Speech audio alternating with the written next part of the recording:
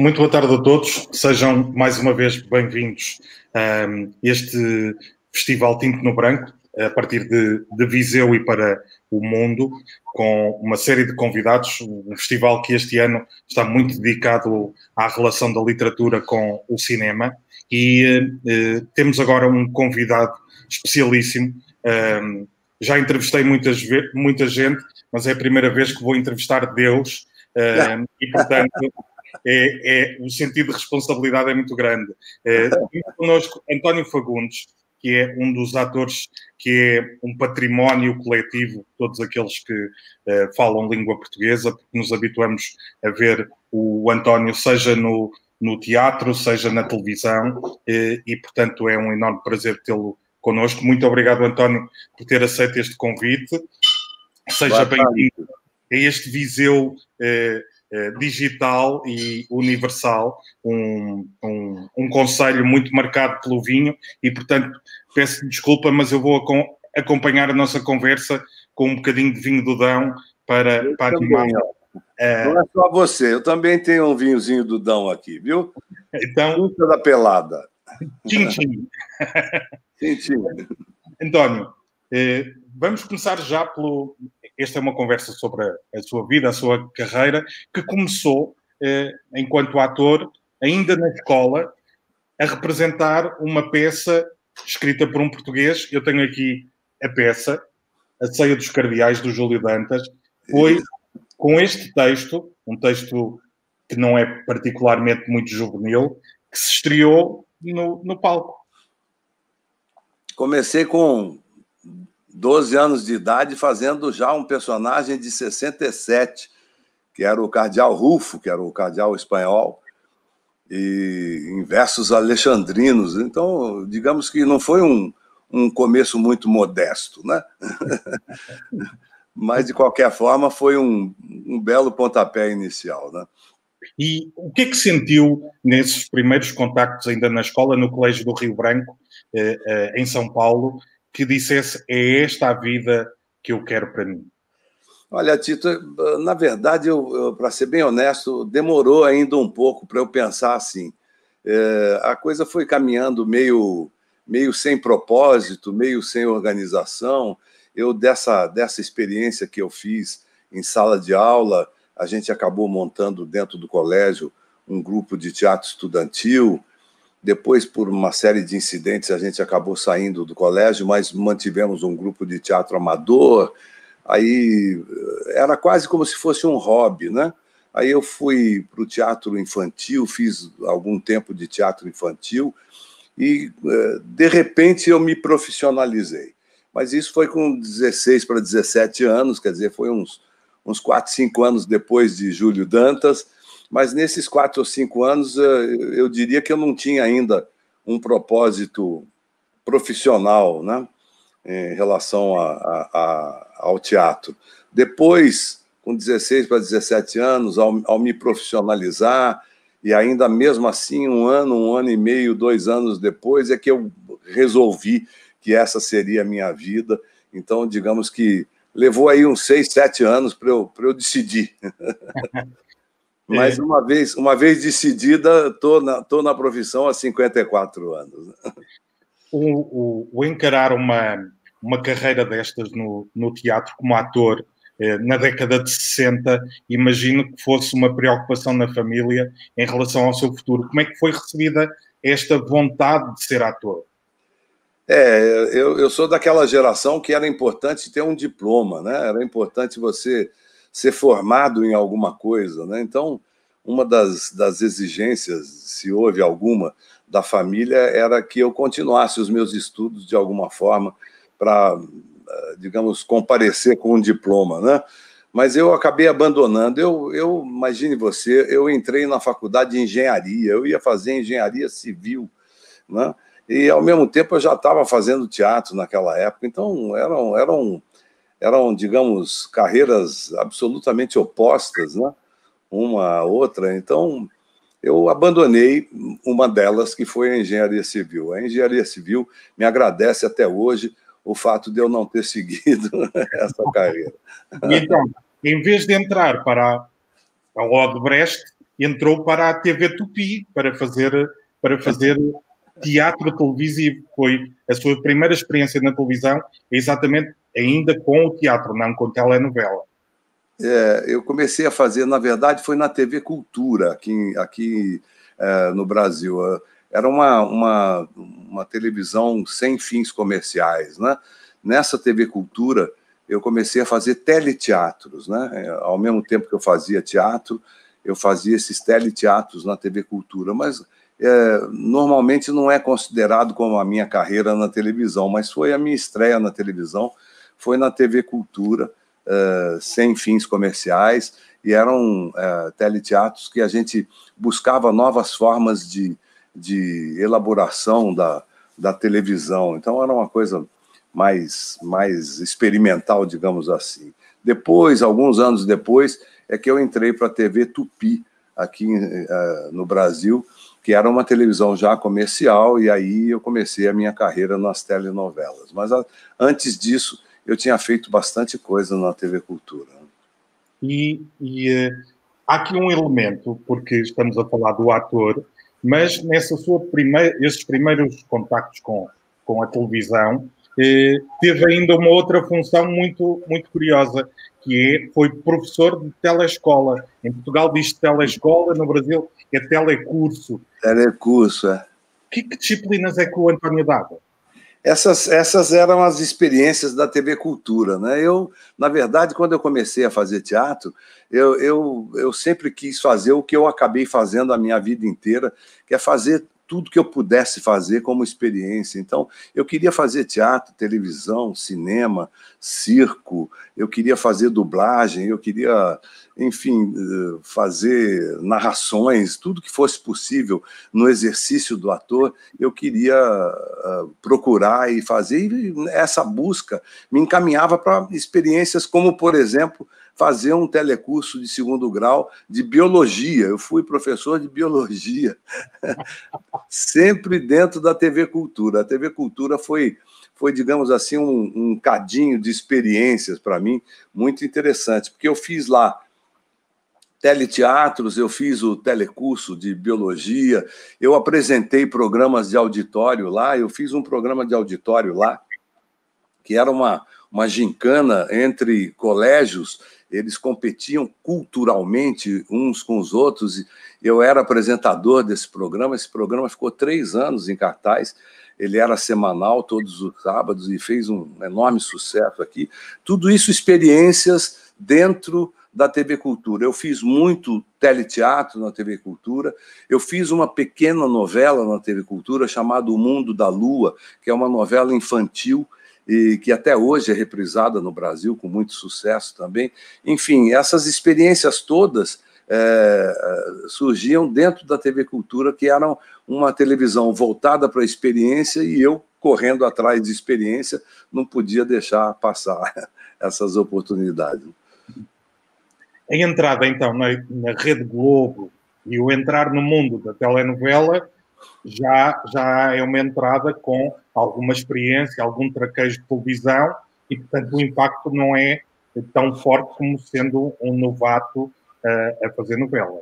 É, não, eu já tinha, já tinha adquirido alguma experiência. Naturalmente, a novela, principalmente a novela no Brasil, ela exige, digamos assim, um, um conhecimento específico do ator. Ele tem que ter é, uma agilidade na, na, na, arte de interpretar e uma facilidade para decorar, porque a, a, produção aqui é muito rápida. Você grava, é, às vezes, um capítulo, um capítulo e meio por dia. Então, é, na, na época que a gente começou, era até mais. A gente gravava dois ou três capítulos por dia de gravação. Então, isso exige, eu sempre digo que o, o ator de televisão brasileiro tem que ser altamente especializado, né? porque ele não, ele não, não é chamado só para desempenhar um personagem, né? para fazer um personagem.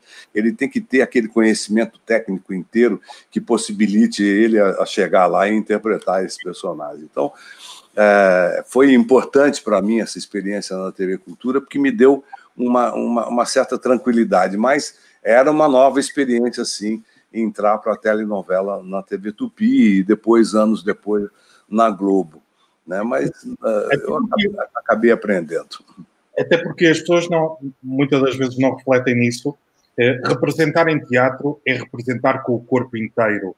Na Sim. telenovela pede-se ao ator que represente muito mais do, do peito para cima, que consiga no rosto eh, passar um conjunto de, de, de, informações, de emoções. É, é um trabalho lá muito mais específico. Eh, foi difícil eh, adaptar-se a essa representação mais do peito para cima? Não, eu diria que aquele ator que vem do teatro, como você mesmo falou, que é que é obrigado pela própria profissão a pensar no corpo inteiro, onde pôr a mão, de que forma o pé está posicionado, né? como é que é a inclinação do corpo, enfim, a, o corpo inteiro se expressando. Quando a televisão fecha no, no, no, seu close, você já está inteiro lá, né? É, você tem até uma vantagem sobre os atores que foram criados na televisão, porque a partir do momento que a câmera mostrar você de corpo inteiro, você continua atuando com, com sabedoria, coisa que às vezes o ator que só faz televisão não consegue fazer tão bem. Né?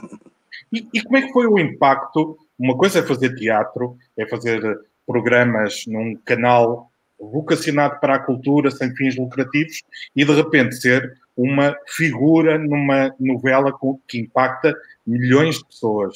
Como é que foi adaptar-se a essa, essa visibilidade, a essa exposição? É, você sabe, eu, eu comecei a fazer teatro profissional há 54 anos e eu não parei nunca, nunca. De, de 54 anos para cá, eu nunca parei de fazer teatro. Então, ah, eu diria que ah, tudo que a televisão comercial me proporcionou eh, no sentido de popularidade, no sentido de atingir um número muito grande de espectadores, eu tentei e, de uma certa forma, consegui canalizar para o meu trabalho em teatro. Então, é, é, todo o impacto que poderia ser até negativo, digamos assim, de uma superexposição que a televisão comercial permite, para mim foi muito produtiva, porque essas pessoas que me assistiam na televisão e que queriam saber o que, que eu estava fazendo, iam ao teatro assistir peças bastante interessantes que eu fiz nesses 54 anos. E continua, esse fenómeno continua a acontecer, até porque Sim, o, é. António continua a, a visitar Portugal com muita regularidade com as suas peças de teatro e quem diz o António diz uma série de outros grandes atores brasileiros que, a par da carreira na novela, continuam a ter projetos de teatro e, e de grande sucesso. Sim, continuo fazendo e, inclusive, não tanto quanto eu gostaria, porque eu gostaria de ir todo ano a Portugal com um espetáculo novo, mas alguns espetáculos são difíceis de viajar, então por isso que eu não vou mais. Mas já estamos programando a próxima volta a Portugal. Isso, isso são ótimas notícias, temos saudades de, de o ver por cá. Eh, António, vamos, vamos falar então na sua carreira como eh, ator de novelas, um, uma das grandes figuras da, da história da telenovela brasileira. Eh, tenho curiosidade de perceber se é um ator que eh, prepara os personagens e constrói uma história para cada um dos personagens, se tenta fazer, eh, construir tudo aquilo que é o passado do personagem para mais facilmente entrar e ser natural o desenvolvimento do personagem. Há, há muito esse trabalho.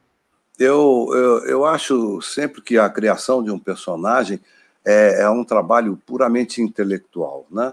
Alguns atores preferem que ele seja mais emocional, que ele seja mais uh, uh, carregado pela emoção, pela, pelo seu psicológico. Eu acho que não. Eu, eu prefiro o trabalho intelectual. Eu prefiro me alicerçar uh, contextualizando os personagens que eu vou fazer, me cercando de informações sobre em que época ele vive, em que classe social ele vive, que tipo de relação ele tem uh, com a, sociedade onde ele transita, uh, que tipo de profissão ele tem, qual é a formação, digamos, intelectual dele, e, naturalmente, isso tudo junto com o texto que o autor propicia, você tem aí um, um, uma cama muito boa para desenvolver o seu trabalho, aí sim, o seu trabalho emocional, o seu trabalho psicológico. Mas a, a, a minha base, a base do meu trabalho de ator é sempre de contextualização. Eu gosto de inserir o meu personagem no, no ambiente que ele tem que estar inserido politicamente, socialmente, religiosamente, o, o que quer que seja. Né? E, e procura, por exemplo, dar aqui um exemplo, quando faz um caminhoneiro uh, em Portugal, um camionista, procura encontrar-se com profissionais dessa área, perceber como é que é o dia a dia deles, a vida deles. É, eu, eu, eu, prefiro, eu prefiro ler sobre isso, até porque a gente não tem tempo de fazer essa pesquisa de campo tão grande quanto uma leitura te permite. Né? Se você é, é capaz de ler cinco livros sobre a vida dos caminhoneiros, é, você consegue é, talvez muito mais experiência do que se você conversar com 10 deles, né? Então eu, eu prefiro isso. Mas ao longo do trabalho você acaba entrando em contato com essa realidade, né? Eu, por exemplo, eu, eu entrei tão em contato com a realidade dos caminhoneiros brasileiros que eu, eu tirei uma carteira especial para dirigir é, caminhões, carretas, como a gente chama aqui no Brasil. Então, eu até hoje, a minha carteira é, de habilitação de direção é profissional, é, é, é categoria E, como a gente chama aqui, né? Que é, eu, eu, eu estou apto a dirigir qualquer veículo automotor, de caminhão para baixo. Né? E e como é que é a reação dessas classes profissionais, dessas, dessas pessoas em relação ao seu desempenho? Falam consigo, diz, dizem, é mesmo assim a minha vida é, profissional, é mesmo como está a retratar? Conversam é. consigo sobre isso. Você sabe, eu não sei se Carga Pesada, que foi o seriado que nós fizemos de caminhoneiros, eu não sei se teve, se chegou a passar em Portugal e chegou a passar as temporadas Sim. todas. Nós fizemos é, seguramente mais de 100 episódios de carga pesada. Era é uma série que ficou muitos anos em cartaz aqui no Brasil.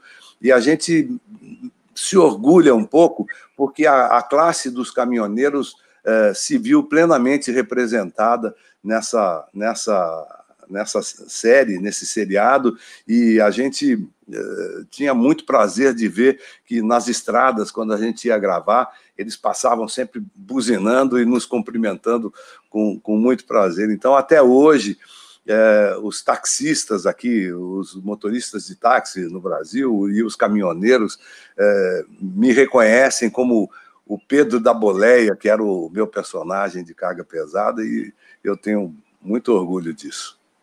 E, eu gostava de lembrar, lembrar a quem está a acompanhar a nossa conversa que podem enviar perguntas para colocar aqui ao António Fagundes. Aliás, já tenho aqui duas para lhe colocar de, de espectadores que nos estão a acompanhar, mas queria lhe fazer uma outra que eu acho que faz sentido. Estava a falar da importância de perceber também um, a, a, posição política, social dos personagens. Hoje são, ter, são, são questões muito quentes no Brasil, e quem diz no Brasil diz em Portugal também, as questões sociais, políticas, estão eh, em cima da mesa como eh, já não estavam há muito tempo. Ehm, sente também essa, essa eh, não diria obrigação, mas essa necessidade de transportar para os seus personagens aquilo que o preocupa social e politicamente no país. Sim, eu fiz, por exemplo, eu fiz uma novela, eu acho que um dos, dos maiores trabalhos do ator é, é a observação, né? E a observação passa por, um, por uma série de coisas, inclusive a leitura. Né? É, é, através da leitura, você aprende a observar outros universos uh, e a ter, digamos, compaixão por esses outros universos. Eu fiz uma novela que eu sei que passou em Portugal, que foi Amor à Vida. Essa, essa novela, nessa novela, eu fazia um personagem que era um médico um cirurgião famoso, e ele era uh, pai de um homossexual e era profundamente homofóbico. Uh, uh, não faz parte do meu universo esse tipo de postura. Eu tenho que estudar isso mas eu tenho que estudar isso de uma forma que, que, que, inclua compaixão. Eu tenho que entender esse personagem nas suas características políticas, sociais, econômicas. Eu tenho que entender a sua formação, o que, que levou esse personagem a chegar a esse ponto, até porque pode ser que, a, a, através da novela, e foi o que aconteceu, ele vem a se modificar uh, uh, e, e vem a, a, passar a pensar de uma outra forma. Então, é preciso que eu tenha esse embasamento para que eu possa até fazer com que essa, essa digamos, mudança, essa, essa passagem para um outro tipo de pensamento se dê de uma forma natural. Né? Pois as pessoas não sabem que quando começa a gravar uma novela, não sabe como é que ela vai terminar. Não sabe não. vai não. ter o personagem. Às vezes nem o autor sabe, né?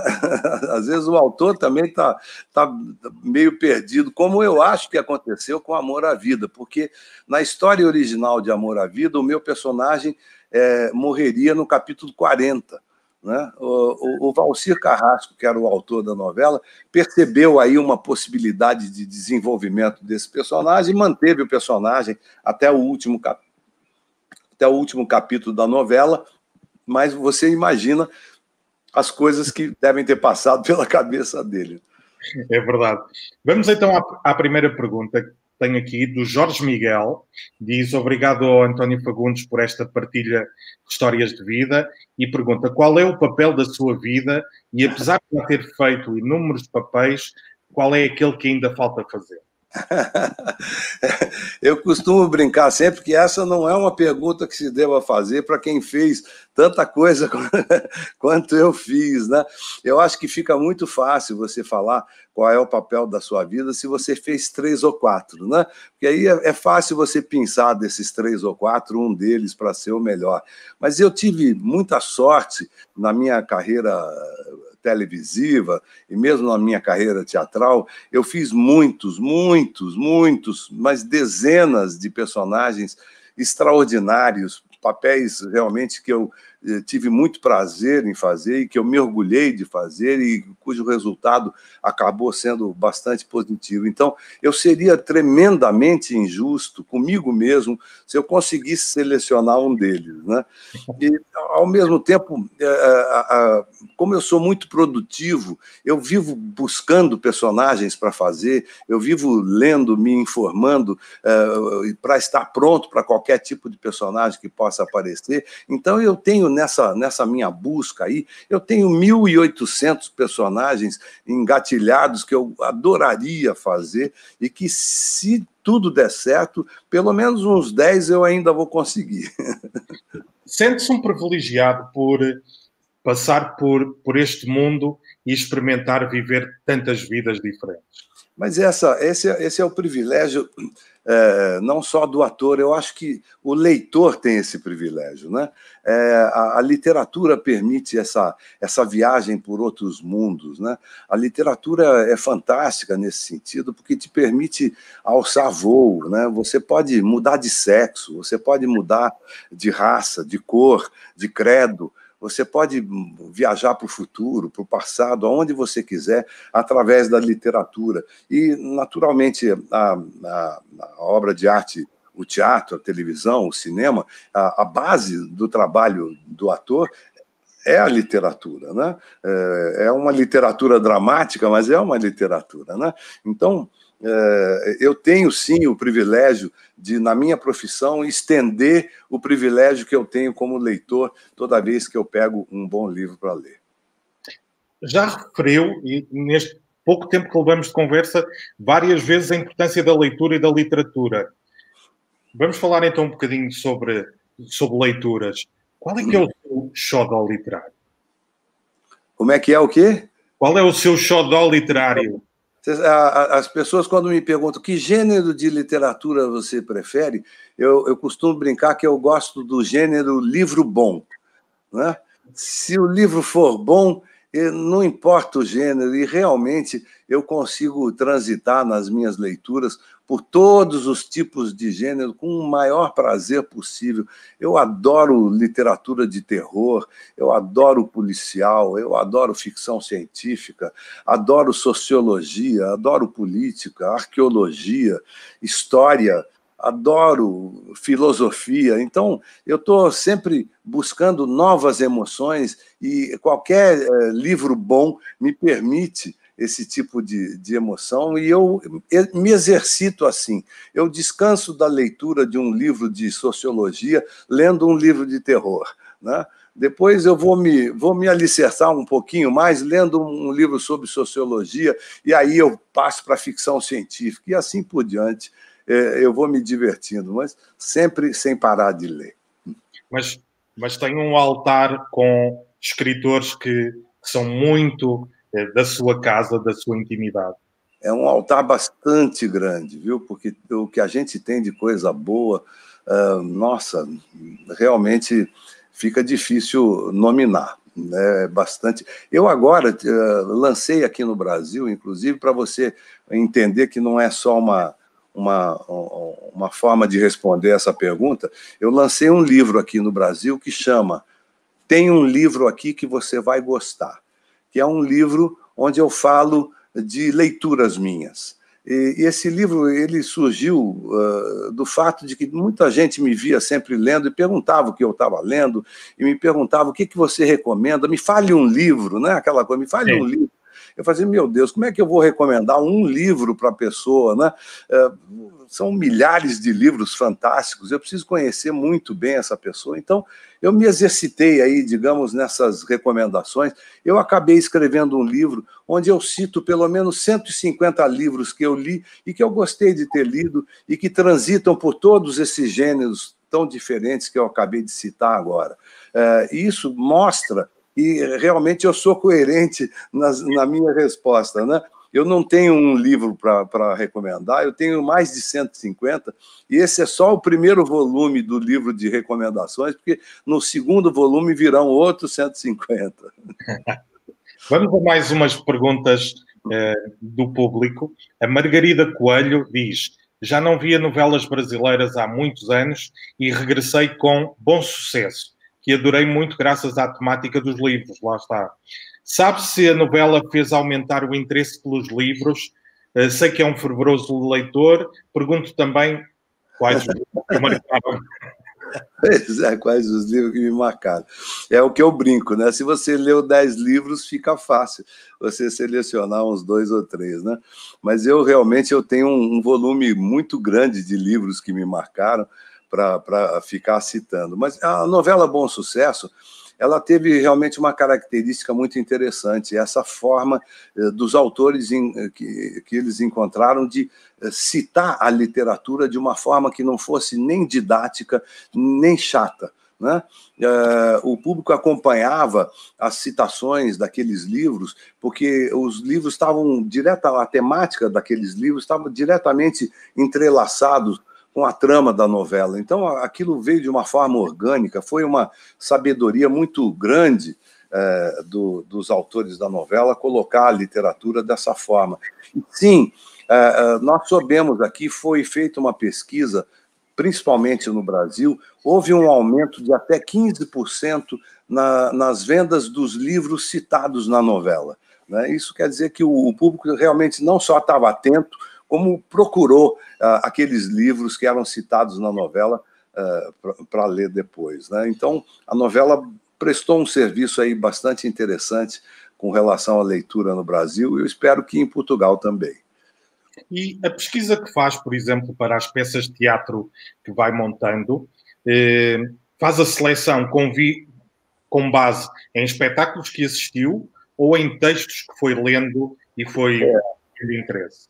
Isso é uma, é uma grande, grande dificuldade. Você tem aí um volume monstruoso de textos de teatro, e dentro desse volume monstruoso, um volume tão grande quanto de textos de boa qualidade. Né? É, você precisa, para escolher um texto, você tem que ler o maior número possível desses textos maravilhosos, você tem que eh, selecionar para você mesmo o que você gostaria de estar discutindo naquele momento e, e perceber se o que você gostaria de estar discutindo naquele momento seria interessante para um grande número de pessoas também. Porque às vezes você pode ler um texto, gostar desse. Por exemplo, eu vou citar um exemplo aqui que aconteceu comigo.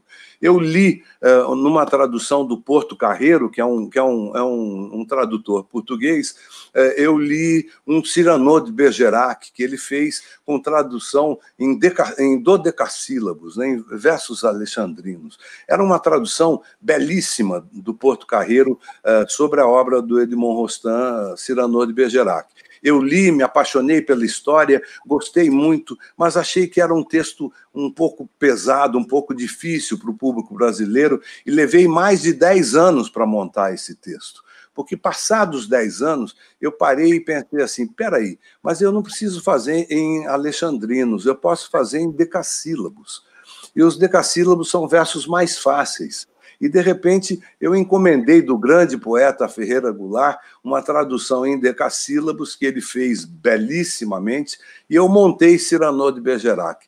Eu levei 10 anos para chegar a essa conclusão. Então, a escolha de um texto, às vezes, passa por um período de 10 anos de amadurecimento, né? até você chegar à conclusão de que aquele texto vale a pena ser montado naquele momento. E, às vezes, você tem sorte você pega um texto, imediatamente você gosta daquele texto, ele é absolutamente oportuno, como aconteceu, por exemplo, comigo, com o meu último espetáculo, que eu, inclusive, apresentei em Portugal, chamado Baixa Terapia. Esse espetáculo eu estava passeando em Buenos Aires e fui ao teatro. Naturalmente, eu adoro teatro também, como público. Eu fui assistir uma peça e era baixa terapia. Eu me apaixonei tanto por aquele texto que no dia seguinte eu entrei em contato com o autor e comprei os direitos dessa peça, e essa peça acabou ficando três anos em cartaz aqui no Brasil, com mais de 300 mil espectadores. Nós viajamos o Brasil inteiro, fomos a Portugal, fomos aos Estados Unidos com a peça, e a temporada dessa peça só foi interrompida porque uma pandemia parou o mundo todo. Mas nós estamos esperando a vacina chegar para retomar a temporada, que ainda, ainda é possível de ser feita. Né? E é, é muito curioso ter falado no Cyrano de Bergerac. É, é, eu, ao contrário do António Fagundes, tenho um altar e, é, e tenho lá alguns. E o Cyrano de Bergerac é o, seja o texto original, seja a adaptação do Jean-Paul Rapneau ao, ao, cinema, é uma das minhas referências e é um pouco também é, um retrato do que é um, um ator, porque é, termina a peça com a lápide do, do Cyrano, o homem que tudo foi e não foi nada. É, em algum momento na sua vida sentiu que foi um homem que foi tudo e não foi nada? Com certeza, esse, esse é, o, é, eu acho que é o fim do ator de teatro, né? O, a efemeridade do teatro, o fato do teatro, aquele espetáculo que você assistiu, ele ser único, né? Quer dizer que é, a partir dali o ator morreu mesmo, né? O, o registro do teatro do ator de teatro é, não existe. Né? Por mais que você grave, por mais que você filme, aquela faísca que o teatro traz, aquela emoção que o teatro traz, aquela coisa quente, viva, aquela troca de energias é única e morre naquele espetáculo. Né? Então, é, sim, eu, eu, eu entendo que seja assim. A gente é, é tudo e não é nada. Tenho aqui mais uma pergunta interessante, que vem eh, mesmo a calhar. O Rui Sá pergunta como é que vê o futuro do teatro pós-pandemia? E, e, eu acrescento, eh, teve a oportunidade de representar durante estes meses eh, de pandemia? É, eu tenho muitos colegas que estão desenvolvendo um, um tipo de comunicação através da internet a, através de gravações de, de cenas e de, de, de momentos teatrais que eu, que eu tenho cuidado de não chamar de teatro. É, o teatro, para mim, é, ele exige aglomeração. Né? O teatro, para mim, é, é baseado na aglomeração. Eu preciso daquelas 700 pessoas que não se conhecem, reunidas ali naquela plateia, no escuro, uh, para ouvir aquele bando de loucos atores desenvolvendo uma série de ideias no palco. E eu preciso dessa energia, dessa troca. Eu acho que essa troca é, é inigualável e não tem nada que substitua. E isso, para mim, é teatro. As outras formas de comunicação, que são muito válidas e que os meus colegas estão fazendo muito bem, eu tenho acompanhado, inclusive, alguns colegas que estão conseguindo criar imagens maravilhosas nesse processo, são perfeitamente válidas, são é, muito bem-vindas, mas não são teatro.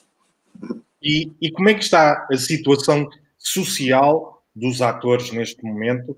Que vive o mundo abalado de uma forma violenta. É, no, Brasil, a gente tem um problema mais grave que é uh, o, o, descaso do Estado em relação a isso também. Né? É, quando a gente fala de, de teatro e de cinema, a gente geralmente lembra lá do diretor, do autor, do ator, mas existe uma cadeia monstruosa de trabalhadores por trás da cena, né? E que permitem que, o, que, a peça, que o filme, que, que a novela apareçam e que eles não aparecem para nós. Né? Essa enorme cadeia está sofrendo muito mais do que, digamos, os atores e os diretores e os autores. Então, é, seria preciso que a gente tivesse um, um olhar um, um, pouco mais é, atento a essa grande cadeia de trabalhadores é, de cultura é, do que nós estamos tendo aqui no Brasil. Mas, de qualquer forma, a, a classe conseguiu se reunir e a gente está tentando, é, pelo menos, remediar um pouco a, a, a penúria que esses profissionais da cultura estão sofrendo. Né?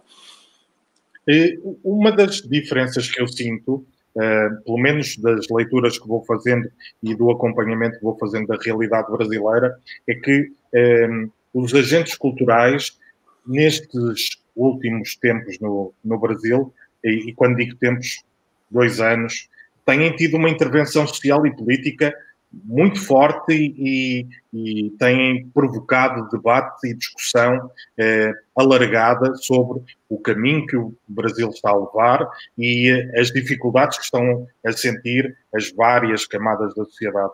Eh, é mesmo assim, há um movimento dos artistas, sejam escritores, músicos, atores, de intervir e de discutir o que se está a passar atualmente no Brasil? Bom, essa, essa é a nossa função básica, né? a função básica da arte, da cultura, é, que é registrar, discutir, criticar o seu tempo. Né? Então, a, a gente estaria abandonando a função básica da, da, nossa profissão se a gente não, não tivesse pronto para fazer isso. E a gente está pronto para fazer isso em qualquer sistema, em qualquer momento. É por isso que se luta tanto pela liberdade de expressão, né? para que você possa é, opinar é, sempre que possível com a maior liberdade possível. Né? É, a gente está vivendo momentos bastante graves no Brasil, principalmente, porque nós estamos sofrendo um outro tipo de censura, uma censura econômica. Essa é uma censura mais silenciosa, uma censura que não aparece nos jornais, mas que vai matando na base a, a arte de fazer teatro, de fazer cinema, eh, de fazer eh, outro tipo de de manifestação cultural. Essa, essa censura econômica que é silenciosa e que está fechando teatros no Brasil, está fechando cinemas, está fechando museus, está acabando com as sinfônicas, está fechando as pinacotecas, e tudo isso em nome de um sistema que nós não sabemos nem se vale a pena ser chamado de sistema. O, o, o António Fagundes viveu uma ditadura, uh, sabe o que é trabalhar. Uh, eh, num regime de censura, de muita limitação, de perseguição aos artistas, sente que este mau momento que se está a viver agora vai ser muito mais fácil de limpar e que daqui a dois anos o ambiente já vai estar mais tranquilo? Não, eu acho que a gente corre o risco de ter uma terra arrasada aí que possivelmente leve décadas para ser reconstruída. Né? É, nos últimos dez anos, é, só no Rio de Janeiro, só na cidade do Rio de Janeiro, fecharam mais de 38 teatros.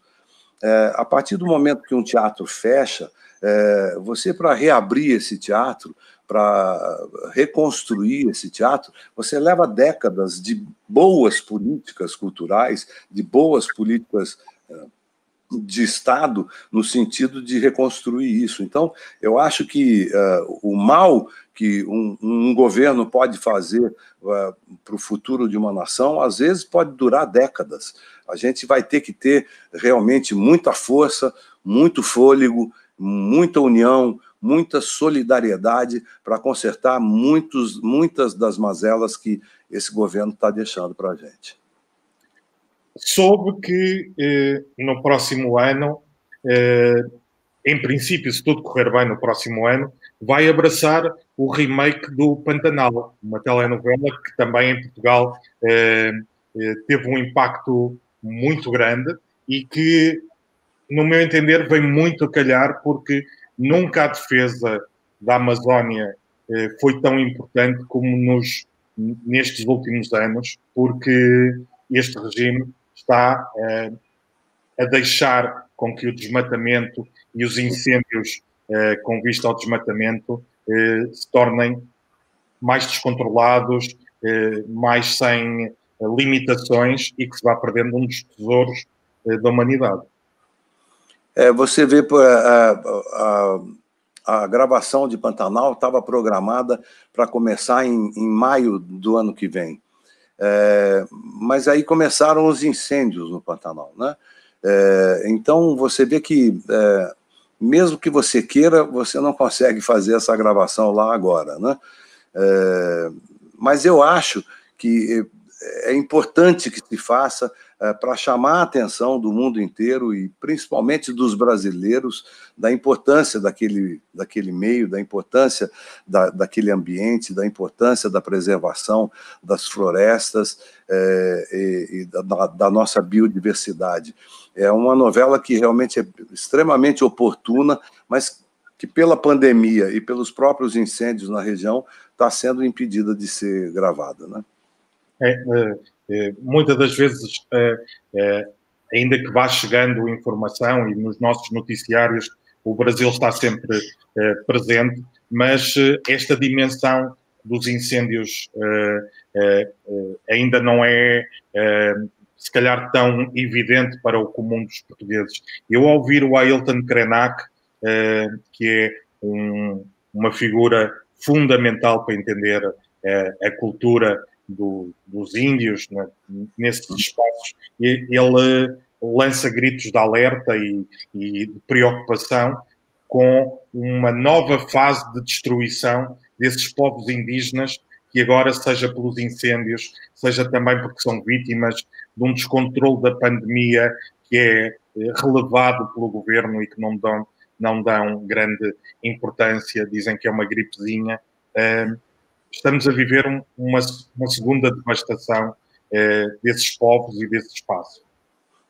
É, você vê que é, é um projeto, né? É, como dizia o Hamlet, há um método nessa loucura, né? É, um, é, um, é um projeto de governo que esse desmatamento seja feito, é um projeto de governo o, o, desmantelamento da cultura e da educação, é um projeto de governo o, o o menosprezo pela saúde, é um projeto, né? são projetos que estão é, vingando hum, e, e, vingarão enquanto eles estiverem no poder. Né? É, eh, tivemos agora boas, boas notícias, sem entrar é, muito em questões políticas, mas boas notícias porque nós sentíamos que o Brasil estava dividido em, entre dois grandes blocos, o, o bloco do PT é, e agora o bloco de Bolsonaro. E curiosamente, nas últimas eleições, nenhum nem outro ganharam, perderam os dois, e portanto há aqui um sinal de esperança. Talvez, talvez ah, ah, tenham aprendido que os extremos não são tão interessantes assim, né? Não é à toa que todas as grandes filosofias do mundo encaminham para o meio, né? Uh, o Buda, o Aristóteles, o Confúcio, todos eles indicavam que o melhor caminho era o caminho do meio. O que aqui no Brasil também é, é, a gente tem que repensar, porque o que nós chamamos de caminho do meio politicamente aqui no Brasil é o centrão. E esse, esse centrão é uma série de pequenos partidos fisiológicos que vendem as suas legendas para aqueles que atendem mais aos seus, às suas exigências. Nós compreendemos isso bem porque em Portugal andamos eh, décadas a queixar-nos do centrão e de repente emergem os extremos e agora estamos preocupados com os extremos e, e, e a querer voltar ao, ao, centrão. É sempre uma, um, um equilíbrio difícil de conseguir. É difícil, é difícil. António, eh, já falamos aqui bastante de, de literatura, mas não chegamos a, a, a, falar na sua relação com a poesia. É, é muito próxima, é muito íntima a poesia? Gosto bastante. Eu tenho aqui, eu tenho um Instagram, eh, aliás, é a minha única rede social. É, é, não tenho Facebook, não tenho Twitter, não tenho nada disso, só tenho um Instagram.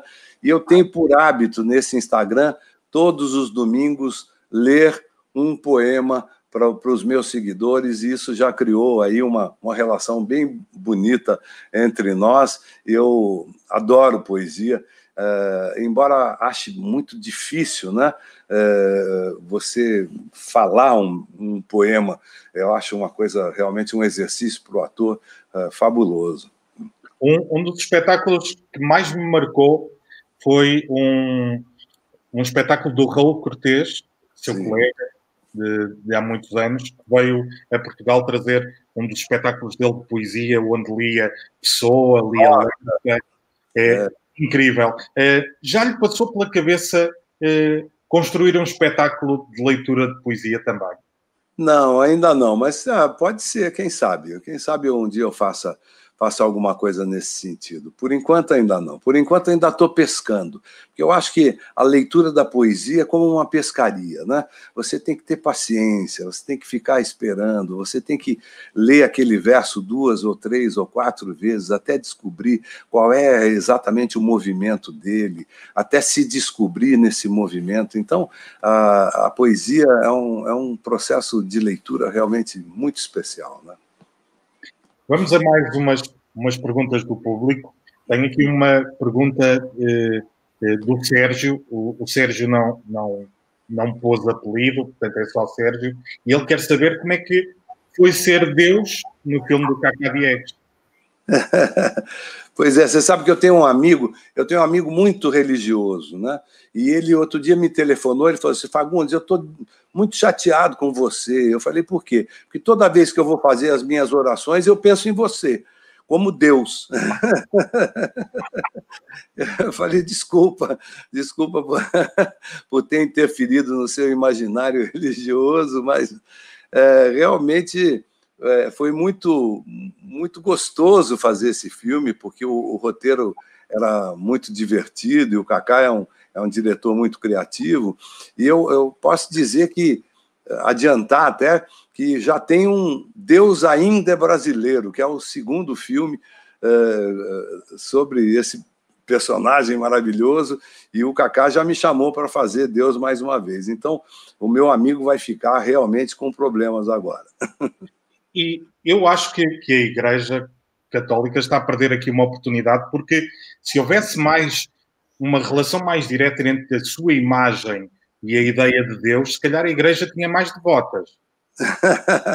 não sei. Isso eu não sei dizer. Até porque eu fiz outros personagens também que talvez a igreja não concorde tanto. e eh, ainda, ainda o aborrece que, que olhem para si como um, um galã não, não. Depois dos 40 anos, ser chamado de galã é um privilégio. Eu, eu agradeço. Eu, a, minha, a minha filha mais velha, a Diná, ela sempre que alguém alguém fala que eu sou galã, ela diz que povo bom, né, meu pai? Que povo bom. uma nota de condescendência. Como? Sinto uma nota de condescendência da com sua certeza, filha. Com certeza, a minha filha tem senso crítico. vamos, vamos a, a, mais uma pergunta que é: qual é que é a próxima peça que tenciona trazer a Portugal e é da Alda Calvo? Pois é, eu, eu tenho um espetáculo que eu queria muito levar a Portugal, mas o cenário era muito grande, eu acabei não, não conseguindo levar, que era o Vermelho, que é um espetáculo que eu fiz com meu filho, o Bruno, que era muito bonito. Eu sempre quis levar esse espetáculo a Portugal, mas era um monstruoso cenário. O cenário era operístico, a gente não ia conseguir fazer aí. Mas, olha, Portugal está sempre na minha na minha mira. Eu toda vez que eu monto um espetáculo aqui no Brasil, eu fico me organizando para poder levar a Portugal. Fizemos isso com quatro espetáculos já. Eu já fui com quatro espetáculos para Portugal e sempre fui muito bem recebido pelo público português e sempre amo, amo, amo Portugal em todas as linhas. Amo o povo português, amo o país, amo o clima, a comida, os vinhos, tudo, tudo. Só, só para lhe dar noção de que esse amor é recíproco, eu vou pegar aqui numa numa pergunta da Magui Quintal, não vou fazer a pergunta, vou-lhe dar só essa informação, que é, sabia que eh, a sua personagem, o Kaká, do Dancing Days, eh, foi um sex symbol tão importante em Portugal que muitas mães batizaram os seus filhos de Carlos Eduardo. Carlos Eduardo, é mesmo? Olha, é. faz é. tempo. Então, tá, os Carlos Eduardos hoje em dia já são homenzinhos grandes. Já, já, já são. António Fagundes, foi ótimo conversar consigo. Foi oh, mas que bom. Já, já passou esse tempo? Nossa, já agora rápido. É, foi um prazer. Vamos ficar aqui ansiosos por eh, recebê-lo em Portugal, seja com a peça que for, nem que seja só para dizer olá, nós vamos recebê-lo com muito carinho e uh, agradecer-lhe mais uma vez ter aceito vir a este uh, espaço, ao Festival Tinto no Branco de Viseu e ter compartilhado connosco é um, é um vinho do Dão, um vinho do Dão. Um vinho do Dão. Olha, eu que quero agradecer e eu quero dizer que se eu não tiver um espetáculo para levar a Portugal, eu quero fazer uma coisa que eu tenho me prometido há anos e que, infelizmente, pela minha agenda de trabalho, eu quase nunca consigo fazer, que é ir a Portugal passeando. Eu quero passar pelo menos três meses passeando em Portugal, porque eu amo essa terrinha, amo esse povo, amo tudo que tem aí. Então vamos combinar um encontro para esse passeio por Portugal e, uh, e nós vamos lhe apresentar dois ou três sítios onde comer e beber muito bem em Viseu. Mais Maravilha. uma vez, Maravilha. Um, um brinde ao António Fagundes. Vou um até brinde... botar mais, mais um pouquinho de vinho aqui para brindar com vocês. Aí. E um brinde ao teatro. Um grande abraço. Um brinde à vida. Grande abraço. Grande abraço. Até breve.